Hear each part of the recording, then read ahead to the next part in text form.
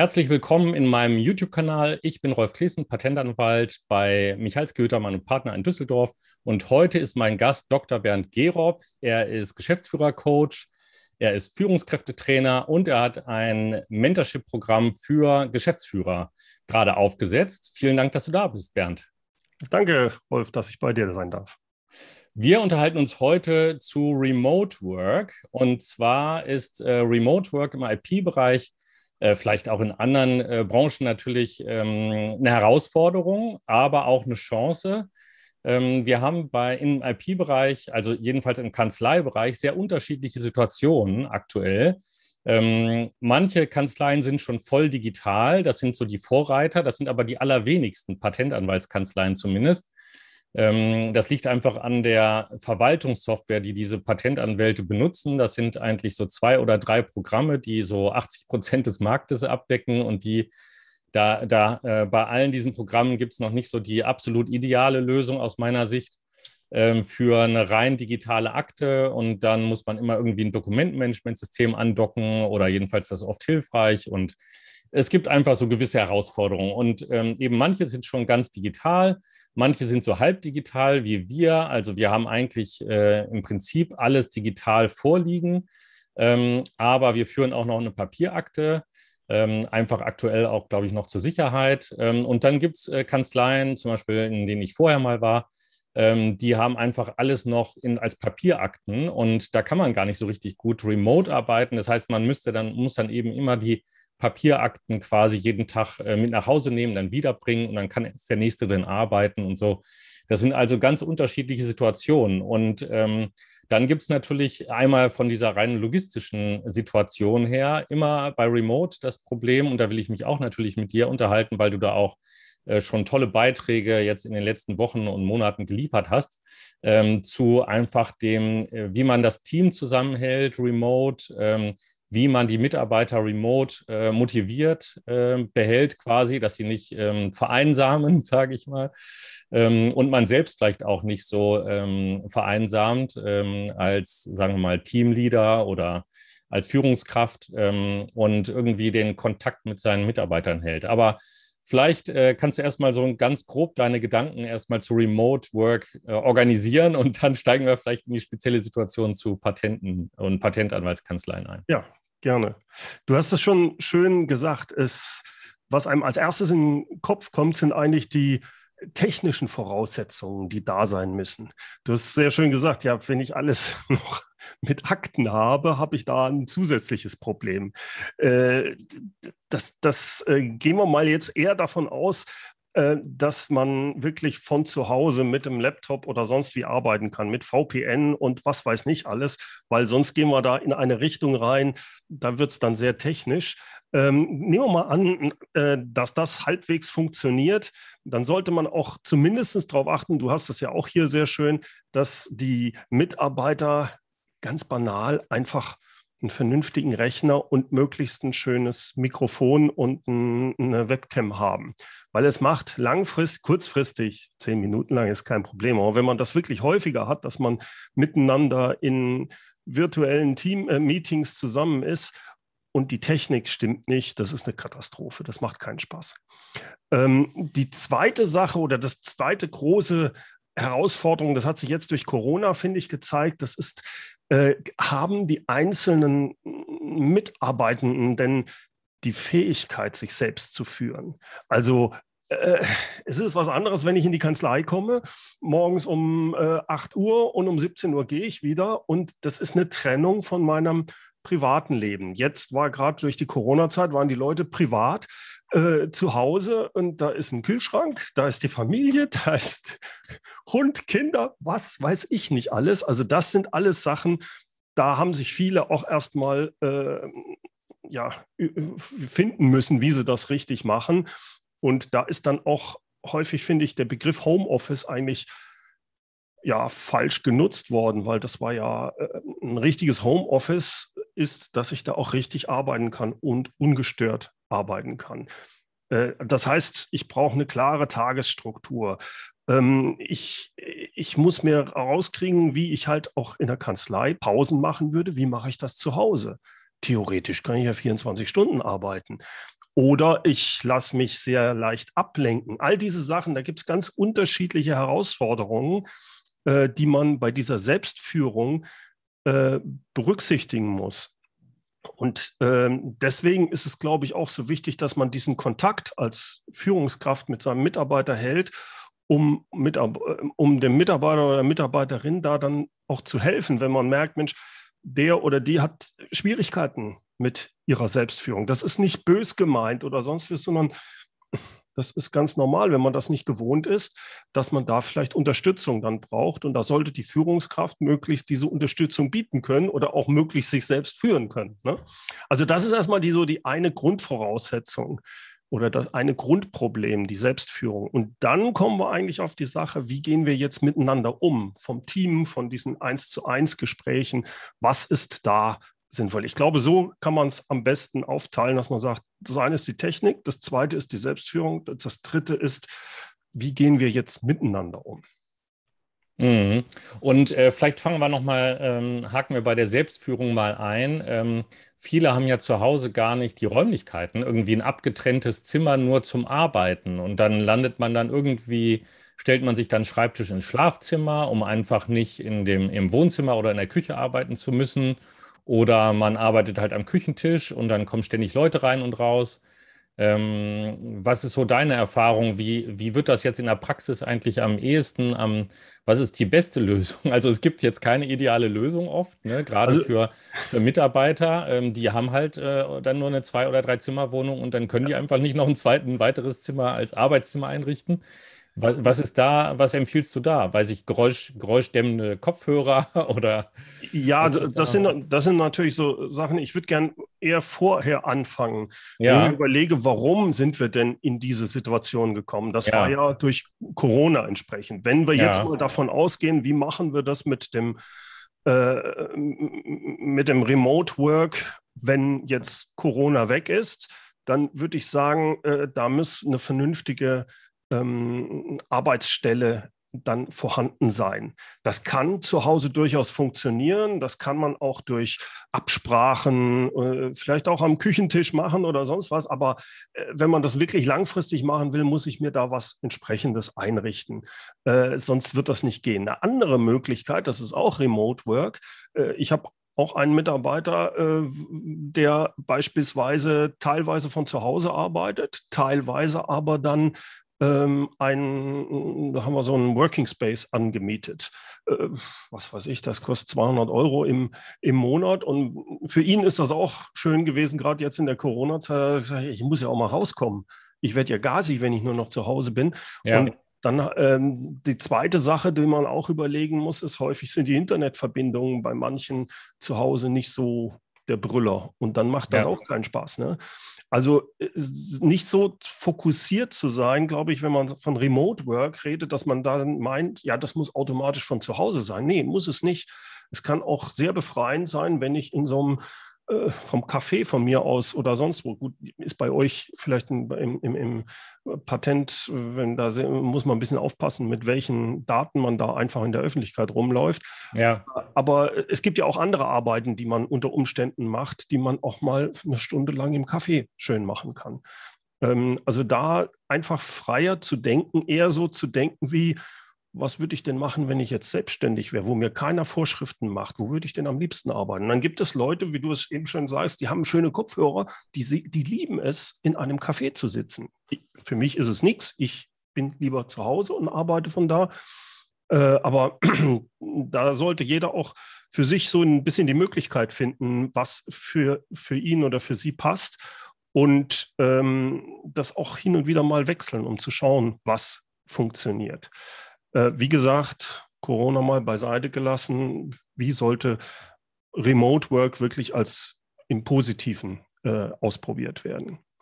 Die zweite Sache dann ist, dass man sich überlegt, äh, es gibt ja nicht schwarz oder weiß, sondern es ist so, ist man zwei oder drei Tage im Remote und will vielleicht auch wirklich ein, zwei Tage lang in der Woche an der Arbeitsstelle sein. Da gibt es ja die verschiedensten äh, Möglichkeiten.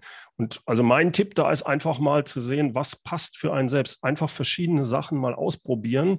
Und wenn man gezwungen ist, was von zu Hause zu machen, muss man sich überlegen, welche Absprachen kann ich haben mit, mein, mit meiner Familie, aber auch dann mit meinem äh, Team, mit meinem Chef oder meinen Mitarbeitern, äh, dass man sagt, pass mal auf, hier zwischen 10 und 12 ist schlecht, da ist bei uns äh, zu Hause äh, schwierig, da ist, was weiß ich, die Putzfrau da, ich habe keine Ahnung, äh, das macht da keinen Sinn. Also da ähm, die, sich klar zu werden mit allen Beteiligten, also von der Firma her wie auch von der Familie, die Erwartungen abzuklären und das darüber zu sprechen und sich da ja äh, Regeln aufzuerlegen, glaube ich, das ist dann ganz wichtig, die von allen auch bekannt sind, wie man, wie, wie man miteinander umgeht, wann man erreichbar ist und all diese Geschichten. Ähm, dann hast du gerade noch und jetzt gerade auch schon stichwortartig äh, angesprochen, äh, wie man das Team eigentlich zusammenhält oder wie man im Team zusammenarbeitet im Remote Work ja. oder mit Remote Work, mit Homeoffice. Ähm, das war so der dritte Aspekt, den du am Eingangs so in deiner ja. Gliederung sagen erwähnt hast. Wollen wir da noch, kannst du da kurz was zu sagen, wo, wo du meinst, dass das bei ähm, Patentanwaltskanzleien oder vielleicht auch generell, wie das am besten funktionieren würde? Also man arbeitet da ja stark äh, eben so äh, textbasiert, also das sind eben Akten, die man da irgendwie bearbeitet. Ja. Und ähm, das sind wenig so Sachen, die im Team tatsächlich passieren, also Sachen, ja. die eigentlich man, man alleine im erledigt. Und dann ist die Gefahr groß, dass man sich so in seine Arbeit dann vertieft im Homeoffice und mhm. dann so ähm, praktisch alle anderen vergisst und dann irgendwie eben ja den, den, den Draht zum Team verliert, vielleicht. Ja. ja. Also äh, prinzipiell, das gilt jetzt nicht nur für Patentanwälte, sondern allgemein, würde ich sagen, gibt es drei Sachen oder Erfolgsfaktoren, wie das funktionieren kann.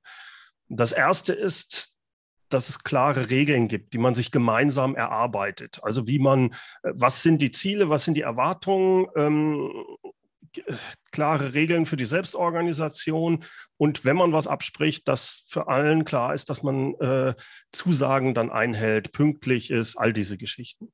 Das Zweite ist die Kommunikation. Da ist ganz klar, äh, dass all diese Geschichten, die man sonst auch kennt von Teammeetings und so weiter, die sollten da alle auch eingehalten werden und noch wichtiger, also pünktlicher Beginn, pünktliches Ende. Ich will das gar nicht ähm, da in die Tiefe gehen. Ähm, ich glaube aber, was hier ganz wichtig ist, und das ist nachher der dritte Punkt, Vertrauen. Vertrauen baut sich nur auf, wenn man auch häufiger mal miteinander so kommuniziert. Auch das Problem, was du angesprochen hast, dass man, gerade wenn man permanent an Sachen arbeitet und dann auch nur von zu Hause, dass man eigentlich den Zugang zum Team verliert, dem entgegenzuwirken, glaube ich, ist, äh, es gibt eine Möglichkeit, das natürlich mit Teamsitzungen zu machen, so wie man es auch im Büro macht. Da muss man aber ähm, online sehr aufpassen, weil das äh, schwieriger meiner Ansicht nach ist. Und es muss sehr, ich will, ich bin eigentlich jemand, der sagt, wenn wir Teamsitzungen machen, dann müssen die sehr, sehr klar und sehr kurz prägnant sein. Ähm, das ist mehr so ein, auf fachlicher Ebene oder eine Abfrage. Geschickter ist es dann, um dieses Vertrauen aufzubauen, um das Team zusammenzuhalten, wenn man möglichst als Führungskraft regelmäßig, ich nenne die One-on-Ones, eins zu eins Gespräche mit den jeweiligen Mitarbeitern hat. Dass man also sagt, was weiß ich, mit Hugo spreche ich einmal pro Woche eine halbe Stunde. Und da geht es dann auch gar nicht mal unbedingt darum, jetzt ähm, was Fachliches, sondern das, können, das kann einfach so ein Socializing zum Teil auch sein. Es kann sein, dass man sagt, sag mal, äh, wie geht's dir denn? Äh, wie läuft's denn? Dass man auch so ein bisschen dieses, was man sonst vielleicht an der Kaffeeküche spricht, dass man das da abholt. Und das, das ist so ein, ich, wenn man das anfängt und es vorher nicht gemacht hat, fühlt sich das ein bisschen komisch an. Ne? Ja, aber du hast da einen ganz tollen, tollen Beitrag äh, schon gehabt. Ja. Äh, in, sowohl Podcast als auch ein Video hast du dazu gemacht, glaube ich. Ja. Ähm, das verlinke ich einfach mal hier unter dem Video. Immer. Ähm, ist fantastisch. Äh, genau. Also ich glaube, so kann man anfangen, was ich da in dem Video sage. Wichtig ist mir allerdings, mit der Zeit, wenn man das häufiger macht, äh, da habe ich eine genaue Struktur gegeben, wie man sowas äh, schön aufteilen kann. Das ist so am Anfang, glaube ich, ganz hilfreich, um reinzukommen. Aber im Endeffekt muss man sich immer überlegen, um was geht es nachher? Es geht darum, dieses Vertrauen aufzubauen und an, den, an dem Mitarbeiter dran zu sein, beziehungsweise der Mitarbeiter an der Führungskraft. Ähm, und wie man dann diese Zeit gestaltet, ist gar nicht so entscheidend. Das kann man, da kann man dann nachher von abweichen. Was man nur nicht machen sollte, ist, es muss dieser persönliche Touch meiner Ansicht nach bleiben. Es ist falsch, wenn man diese Zeit nur dafür sucht, okay, äh, wie sieht es jetzt aus? Wir gehen jetzt den Plan durch, zack, zack, zack, Status, Status, Status, ah, da muss aber was gemacht werden. Das, das ist nicht gemeint. Das macht dich besser in einer prägnanten Teamsitzung oder vielleicht kann ich es mal so ein bisschen machen, aber es geht auch um diese persönliche Sache, gerade wenn wir das online machen, um auch mal einfach zu fragen, und äh, sag mal, da hinten, wie sieht es denn bei dir aus? Ähm, ja, ist ganz schlecht. Wir haben demnächst Geburtstagsfeier von Kindern und einfach so ein bisschen quatschen oder wie hat der Fußballverein gespielt? Keine Ahnung. Das, was man halt auch an der, in der Kaffeeküche mal machen würde, das gehört auch ganz wichtig da rein. Und da, wenn man so miteinander redet, kriegt man mit der Zeit einfach raus, wie läuft es bei demjenigen? Braucht er Unterstützung? Braucht er vielleicht halt auch eine Unterstützung bei der Selbstführung? Äh, hat er Schwierigkeiten, die Tagesstruktur klar zu haben? Was auch immer. Mhm. Also für mich ganz, ja. ganz entscheidend diese One-on-Ones. Ja, genau. Ähm, da muss ich mich selbst auch an die Nase packen und vielleicht da noch mal ein bisschen aufrüsten in meinem eigenen Team. Also was ich da Vielen Dank für die Erinnerung jedenfalls. Was ich da als Tipp einfach geben kann, also das ja. erst, erste ist, du machst diese One-on-Ones nur mit deinen direkten ähm, Direct Reports. Ja. Äh, jetzt weiß ich bei dir, du hast keine 30 Direct Reports. Ja, ja. Man sollte da eine einstellige Anzahl von Direct Reports haben, sonst ja, genau. funktioniert es nicht. So, wie, wie soll das gehen hier? 30 Leute und mit denen soll ich da einmal pro Woche, geht's doch? Das funktioniert natürlich nicht. Es funktioniert nur, ja. wenn ich eine Einteil, äh, eine, äh, wenige, sieben ist so diese typische Zahl. Ne? Ja. Also bei den Anwälten und Patentanwälten ist es oft so, dass sie, dass jeder Anwalt so ein eben, ich glaube, kanzleiübergreifend immer irgendwie so ein Team von weiß ich, zwischen zwei und fünf Mitarbeitern einfach hat, sage ich mal. Und dann äh, passt das ganz gut. Ja. Ähm, genau, äh, die einfach Direct Reports sind und äh, ja, was da kann man da das eigentlich in, in Kanzleien ganz gut umsetzen. Was ja. ich da vielleicht so als Tipp geben würde, ist, weil sonst geht es unter, äh, sich wirklich bewusst gemeinsam mit dem Mitarbeiter zu sagen, okay, ähm, an welchem Tag in der Woche machen wir unseren One-on-One? Was weiß ich, montags um 10 bis 10.30 Uhr. Mehr als eine halbe Stunde muss auch gar nicht sein. Ne? Das muss kein ja. Stundentermin sein. Nee, genau. Äh, aber den dann einhalten, den in Outlook oder was ihr auch immer habt, da eintragen. Und das ganz Wichtige, die Führungskraft, das ist ein wichtiger Termin. Das wird häufig übergeben. Ja, ja, ja, aber der Kunde hat ja angerufen. Nee, nee, das ist nee. so wie ein Kundentermin, den so einzuhalten. Hm. Also oder sogar wichtiger. Denn ja, oder wie soll man die Kunden bedienen, wenn die Mitarbeiter abhauen? Exakt, sehr schön. Du hast das sehr gut formuliert, genau. ja, also du hast noch ein, äh, ich wollte noch kurz darauf eingehen, du hast ja so ein, ähm, so ein ähm, Mastermind quasi. Ja. Ähm, irgendwie ähm, Leadership Intensive Mastermind oder so heißt das, ne? Ja, ähm, ja, Da habt ihr doch bestimmt auch schon so Situationen, da haben doch bestimmt Leute auch schon so Situationen, Remote Work und so ja. angesprochen. Ähm, magst du da einfach vielleicht anonymisiert, vielleicht mal so, so die typischsten Fälle, die Fallgestaltung mal aufzeigen und wie ihr dann damit umgegangen seid ja. und wie ihr das so, wie ihr dann zu einer Lösung gekommen seid? Also ich finde es unheimlich spannend. In dieser Leadership Intensive sind ganz unterschiedliche Branchen drin. Also von der IT über ein Sanierungsunternehmen äh, bis, bis zum Restaurantbesitzer. Also du hast ganz unterschiedliche Arten und da gibt es halt auch ganz unterschiedliche Herausforderungen, äh, jetzt äh, irgendwas remote zu machen bei, beim Restaurant wird man jetzt sagen, ja toll, das geht nicht remote. Ja, aber auch jetzt gerade in Corona war dann zum Beispiel das Problem, ja, ich bin in, wir haben Kurzarbeit. Wie kriege ich es als Besitzer hin, an den Leuten dran zu bleiben? Auch da hilft dieses One-on-One, -on -One, dass, dass ich einfach mal antelefoniere, alle einmal pro Woche und sage, und wie geht's dir?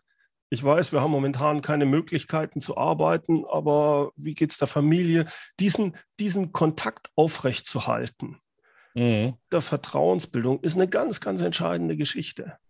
Ja. Bei anderen ist es dann, dass, es, dass man sich sehr gut überlegen muss, ist unser System, so wie wir arbeiten, IT beispielsweise, äh, dann gibt es Leute, die sagen, nee, ich möchte, dass die eigentlich hier sind. Unser ganzes System ist eigentlich so aufgebaut von den Prozessen her, dass wir alle zusammen hier in, sind. Und da dann zu überlegen, ist das eigentlich geschickt oder nutzen wir jetzt die, dass es einige haben das so, so genutzt, dass man sagt, ähm, wir können ja jetzt gar nicht anders, wir müssen remote. Also wie können wir unsere Prozesse anpassen, dass ja, das funktioniert? Das wird bei euch ähnlich äh, halt sein. Die Leute, die jetzt äh, alle in, mit Aktenordnern durch die Gegend gelaufen sind, das ist vielleicht nicht so geschickt. Vielleicht müssen wir da doch mal langsam äh, digitalisieren. Ne?